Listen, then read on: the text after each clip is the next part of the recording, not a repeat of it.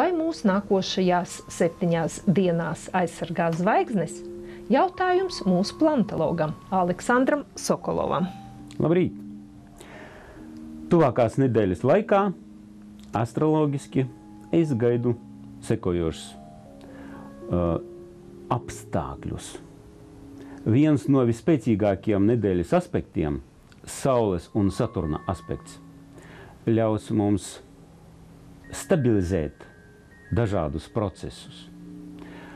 Um, dos iekšēju pārliecinātību, dos iespēju sazināties un iegūt kaut kādu pozitīvu um, iespaidu no kontaktiem ar vecākiem un seniem draugiem.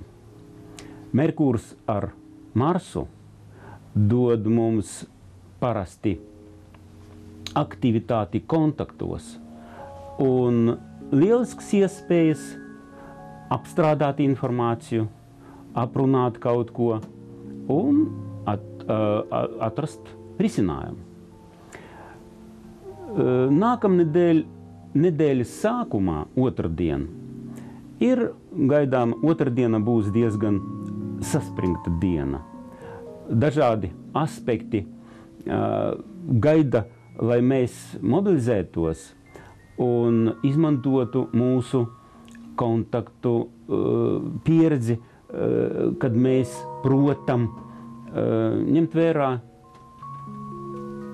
apkārt cilvēku intereses. Un tajā pašā brīdī darbosies Urāna un Venēras labvēlīgs aspekts, kurš sola mums pozitīvus pārsteigumus. Un eh, nevar neminēt arī uh, nākošās nedēļas trešdienu, jo trešdienā mm, darbosies divi savienojumi. Mēnesis būs tuvu Marsam, Merkūrs būs blakus Neptūnam, un visi kopā harmoniski sadarbosies. Uh, šis te veidojums uh, ietekmēs ļoti pozitīvas emoci uh, emocijas mums.